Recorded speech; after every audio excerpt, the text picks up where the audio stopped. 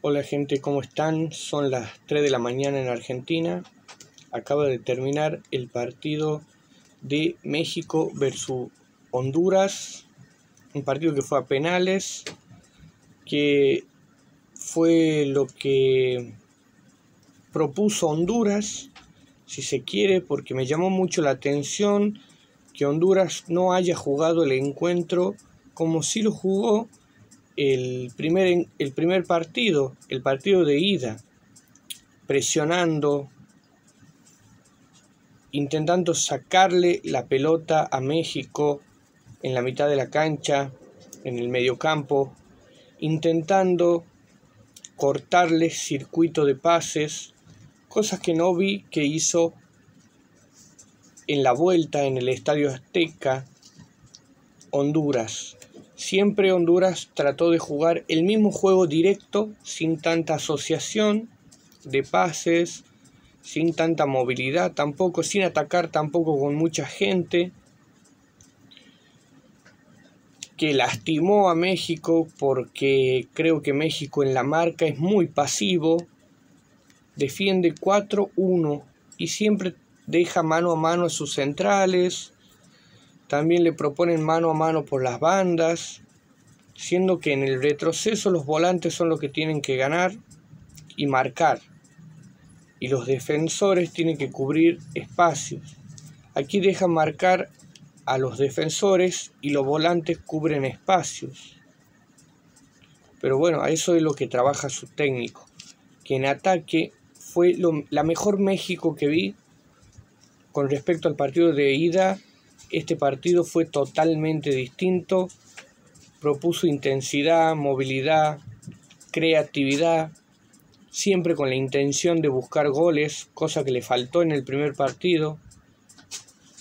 Eh, protagonista, una selección mexicana protagonista es lo que vi, la verdad. Me gustó, me gustó cuando tenía la pelota México, cómo buscaba por bandas, a la espalda, de los laterales hondureños. La verdad que hizo un gran partido, si bien creo que tiene que mejorar, que le falta trabajo. Hoy encontramos que es muy pobre lo que, lo que hace en materia de definición, es muy poco. Creo que le falta trabajo en la definición, en la contundencia, en aprovechar mucho más la pelota parada, la táctica fija. Eh, estuvo bien en las transiciones porque Honduras lo dejó jugar también, se le replegó en defensa con todos sus jugadores en campo, en campo propio, sin la presión, repito, del primer encuentro. ¿Fue justo ganador México? Creo que sí, creo que sí, fue merecido porque la estrategia de Honduras siempre fue demorar el juego y hacer pasar el tiempo en cada jugada, en cada pelota que se iba al lateral o en cada falta cometida por México. Los jugadores hondureños se quedaban tirados en el suelo haciendo tiempo, como se le llama. La verdad que la justicia divide en la justicia divina en el último minuto del encuentro le da el empate a México, que lo lleva al tiempo extra, y en el tiempo extra se jugó como quiso Honduras, no pasó tanto, no pasó tanto, creo que encontró un buen arquero México, porque saca una pelota importantísima en el segundo tiempo cuando se duerme México porque en Argentina a la pasividad de la marca de México y a dejar uno contra uno a los jugadores, al no presionar, achicar hacia adelante, como se le llama, porque se parte México, deja cinco jugadores para defender y cinco jugadores para atacar. Se, se parte México.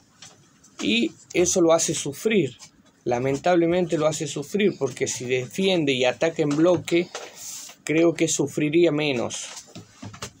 Creo yo, pero lo trabaja así su técnico. Aquí se le llamaría se descuida el pedo. La verdad, se descuida el pedo.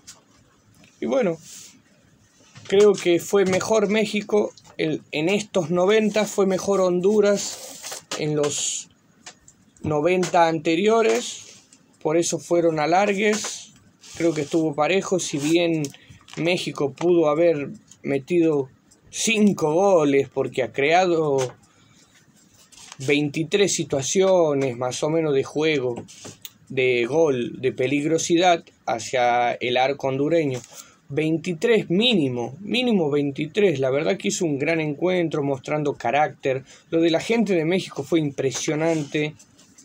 Alentó, no, no silban a nadie, no insultan a nadie. Apoyaron todo el tiempo. Y eso es valorable, ya que en el mundo se está viviendo mucha, mucho nerviosismo. A pesar de ese nerviosismo, creo que la afición mexicana se comportó muy bien.